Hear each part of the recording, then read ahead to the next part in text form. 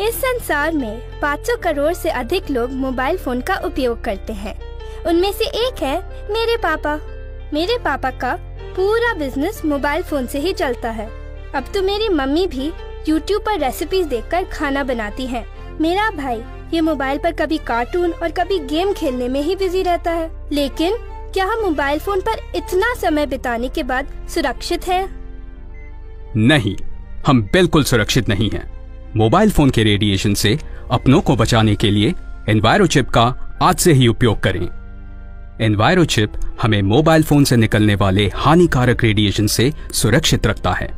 इस चिप को बड़ी से बड़ी संस्थाओं ने प्रमाणित किया है। आज ही अपने परिवार को सुरक्षित करें।